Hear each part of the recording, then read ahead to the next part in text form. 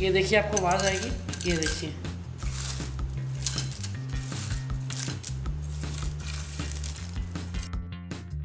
नमस्कार, कुकिंग में शालिनी में आपका स्वागत है। आज हम बनाएँगे बिल्कुल बाज़ार जैसे आलू के चिप्स। आलू के चिप्स सभी को अच्छे लगते हैं। इसको हम चाय के साथ ले सकते हैं। कभी भी ले सकते हैं। बच्चे इसको बहुत खुश होकर खाते हैं। तो देखते हैं इसे बनाने के लिए किन किन चीज़ों की आलू के चिप्स बनाने के लिए हमें चाहिए आलू नमक लाल देगी मिर्च और आइए हम शुरू करते हैं बाज़ार जैसे आलू के चिप्स बनाना। आलू के चिप्स बनाने के लिए हमने चार आलू लिए हैं। इनको हमने अच्छे से धो लिया है। इसको अब छील लेंगे। इस तरह से हमने छील लेना। सारे आलू को हमने इसी तरह से छील करके तैयार कर लेना है। छिलका हमने सब जगह से निकाल लेना है। जब आलू को हम छील लें इस तरह से तो हमने इसको धोना नहीं है क्योंकि हम धो पहले चुके हैं। अगर आप धोना चाहें तो धो भी सकते हैं। उसके बाद हम एक नैपकिन लेंगे इस तरह से।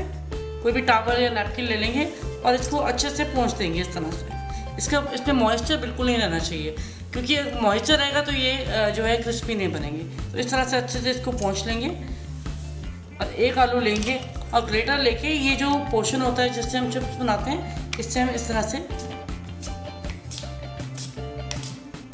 करके चिप्स निकाल लेंगे। इस तरह से पतले पतले हमने चिप्स निकाल लेने। एक तो ये तरीका है चिप्स निकालने का। दूसरा, हम, अगर ग्रेटर नहीं है आप इस तरह से नाइफ़ की हेल्प से भी कर सकते हैं। पतला पतला इसको काट लें बिल्कुल। बिल्कुल पतला पतला हम इस तरह से इसके चिप्स काट कर तैयार कर लेंगे। ये देखिए किस तरह से पतले पतले पतले निकल रहे हैं। और ये डिज़ाइन सा बन रहा है क्योंकि ये जो हमारी नाइफ़ है ये आगे से जो है इस तरह की शार्पन नाइफ है। इस तरह की अगर लेंगे तो आपका थोड़ा सा डिज़ाइन वाला हमारे डिज़ाइन वाले चिप्स निकल रहे हैं। ये जैसे अंकल चिप्स होते हैं ना लाइंस बनी होती हैं उनके ऊपर उस तरह से ये बने हुए हैं। ये देखिए। ये मैं आपको पास से दिखाती हूँ ये देखिए ये कुछ इस तरह से ये देखिए ये इस तरह से निकलेंगे। कोई साइज़ बड़े निकलेंगे तो कोई छोटे निकलेंगे इस तरह जो हमने ग्रेटर के साथ काटे हैं वो इस तरह से निकले हैं और जो नाइफ के साथ काटे हैं वो इस तरह से ये देखिए। डिज़ाइन वाले अंकल चिप्स जैसे। तो ये दोनों तरह से हम बना सकते हैं। बाकी छोटे बड़े साइज़ तो हर चिप्स के पैकेट में भी होते हैं। तो उसकी आपको टेंशन लेने की ज़रूरत नहीं है कि कोई छोटा कट गया कोई बड़ा कट गया। छोटा बड़ा सभी जो है इसके बहुत अच्छे चिप्स बनेंगे। तो इस तरह से हमने सारे काट कर रेडी कर लेने चिप्स काट के हमने रेडी कर लिया अब हम एक नैपकिन लेंगे और ये नैपकिन के ऊपर जो है सारे चिप्स अपने डाल देंगे। इसको अच्छे से पहुँच लेंगे ताकि इसके अंदर जितना भी पानी या मॉइस्चर है वो अच्छे से निकल जाए। अच्छे से हमने इसको कर लेना है। उल्ट पुलट करके हमने इसको ड्राई कर लिए इसी तरह से हम इसको 10 मिनट के लिए रख लेंगे। अच्छे से हमने इसका मॉइस्चर निकाल लिया इसको रखने की बिल्कुल ज़रूरत नहीं है, अब हम इसको फ्राई करेंगे। रिफाइंड ऑयल को हमने गैस पे रख दिया है कढ़ाई के अंदर। ये गर्म हो चुका है, बहुत ज़्यादा तेज़ गर्म नहीं करेंगे। चिप्स हम इसमें थोड़ा थोड़ा करके डालेंगे, बहुत ज़्यादा एट अ टाइम नहीं डालेंगे। और बाकी की जो चिप्स बचे हैं, उसको दोबारा से ढक लेंगे। इस तरह से हमने बिल्कुल हल्के फ्लेम में बनाना है, गैस का फ्लेम हमने बिल्कुल हल्का कर दिया है। लगातार इसको हिलाते रहेंगे। एक के ऊपर एक जो है चिप नहीं चढ़ने चाहिए, नहीं तो वो जो है क्रिस्पी नहीं बनेगी। उतने ही डालें जितने आप एक बार आपकी कढ़ाई में इस तरह से अलग अलग आ इस तरह से उलट पुलट करते रहेंगे ताकि सब जगह से बराबर का कलर आए। बाज़ार में जिस जिस तरीके का चिप्स का कलर होता है, जब उस तरह का कलर आ जाए तो हम इसको निकाल लेंगे। बहुत ही आसानी से हम इसको घर में बना सकते हैं और बहुत ही टेस्टी करारे क्रिस्पी बनते हैं।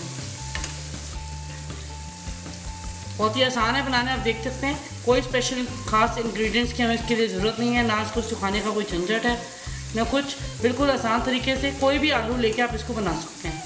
किसी भी आलू से ये बन जाते हैं, कोई स्पेशल ये नहीं है कि आपको कोई आलू लेने की ज़रूरत है। जो घर में हम जिससे सब्ज़ी बनाते हैं, उसी आलू से इसे बनाएँ, बहुत ही बढ़िया बनेंगे। ये आप देख सकते हैं कलर इसका चेंज हो गया। देख सकते हैं कलर कितना बढ़िया आ गया है। इसको निकाल लेते हैं। अगर आपको मेरी ये वीडियो पसंद आ रही है तो आप लाइक करें। लाइक तो बनता है। और अगर आपने सब्सक्राइब अब तक नहीं किया तो सब्सक्राइब भी कर लें। अच्छे से इसका ऑयल निकाल लेंगे।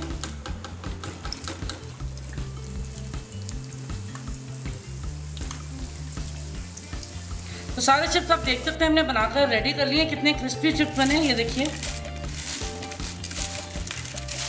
ये देखिए। अब इसमें हम डालेंगे अपने मसाले। नमक वन थर्ड स्पून इसमें डालेंगे लाल देगी मिर्च वन थर्ड स्पून से भी थोड़ी कम। और हम इसमें डालेंगे आमचूर थोड़ा सा इसका टेस्ट बढ़ाने के लिए खट्टा करने के लिए। और इन सबको अच्छे से हाथ के साथ मिक्स कर लेंगे।